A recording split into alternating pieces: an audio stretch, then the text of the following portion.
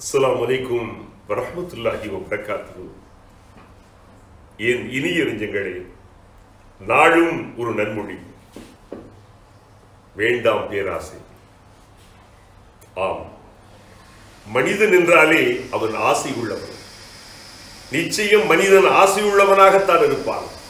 ஆசை உள்ளவனாகவே மனிதனை இறைவன் படைத்திருக்கிறார் மலக்குகள் ஆசை இல்லாதவர்கள். மனிதனோ ஆசையுள்ளவன். ஆசையுள்ளவன் தன்னுடைய ஆசையை எப்படி முறைப்படுத்த வேண்டும்? அவன் எப்படி கட்டுப்படுத்த வேண்டும்? இதைத்தான் இஸ்லாம் அழகுபட சொல்லியிருக்கிறோம் வாழ்க்கையிலே மனிதன் அவன் படுகின்ற பேராசைகள் ஏராளம் இருக்கின்றது உலகத்தில் நீங்கள் பார்த்தால் மனிதன் அடைகின்ற பேராசையுடைய காரணத்தினாலே உலகத்தின் அனைத்து விதமான ஒரு இழப்புகள் மட்டுமல்ல விபரீதங்கள் ஏற்பட்டுக் கொண்டிருக்கின்றன. ஒரு மனிதனுடைய அளவுக்கரியமான பேராசை. அதனால் இதான் ஆசை அளவோடு இருக்க வேண்டும். மனிதனுடைய அந்த உள்ளத்திலே ஆசை வேண்டும். ஆனால் மனிதனுக்குள்ளாலே ஷைத்தான் அவனுக்கு அளவுக்கு மீறிய அதீத அந்த பேராசையை போட்டு மனிதரை அவன் அழிக்கிறான் வாழ்வெடுத்துகிறான். குரான் சொல்லும் அல்ஹாக்கு முத்த காசுரு ஹத்தா சுருத்துமுல் மகாபி. அல்ஹாக்கு முத்த அந்த பணப்பெருக்கம். அதிகமானத்தினுடைய அந்த பேராசையினுடைய விளைவு. உங்களை மன்னரை கொண்டு போய் சேர்க்கின்ற வரைக்கும் உங்களை அழிக்காது விடாது. ஆசை அளவோடு இருக்க வேண்டும். உண்ணுங்கள் பருகுங்கள் எல்லை மீறி விடாதீர்கள். ஒரு அளவு எந்த ஒன்றுக்குமே. எனவேதான் மனிதனுக்குள்ளாலே ஏற்படுகின்ற அந்த ஆசைகளை மனிதன் அடக்கி பார்க்க வேண்டும். சில சபலங்களை மனிதன் தனக்குள்ளாரை ஒடுக்கி பார்க்க வேண்டும். அந்த உணர்வுகள் மனிதனுக்குள்ளாரி வருவதற்கு இவருடைய பேராசைகள்.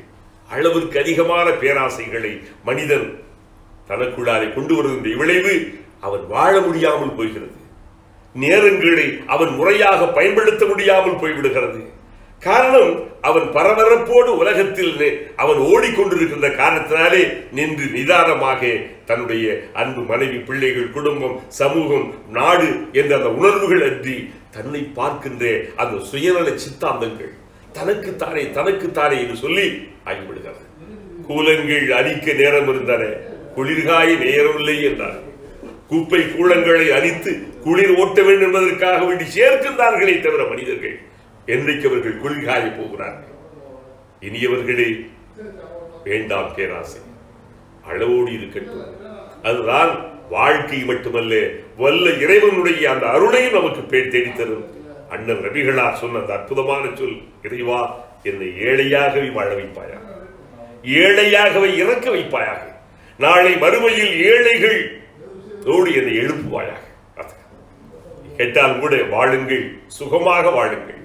நல்ல முறையில் வாழலாம். நபிகளார் தமக்கு தாமே அவர்கள் அந்த வறுமையை அந்த ஏழ்மையை அவர்கள் வலிந்து ஏற்றுக்கொண்டார்களே தவிர தன்னுடைய சமூகத்தவர்கள் வளமாக வாழ வேண்டும். செழிப்பாக வாழ வேண்டும் சிறப்பாக வாழ வேண்டும் என்றுதான் அவர்கள் பெருமாறார் உணர்த்தினார்கள்.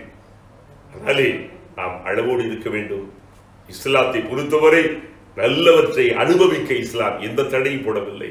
இறைவன் அருள் புரியட்டும். பேராசையின்றி வாழ்கின்ற பண்பாட்டை பெறுவோமா?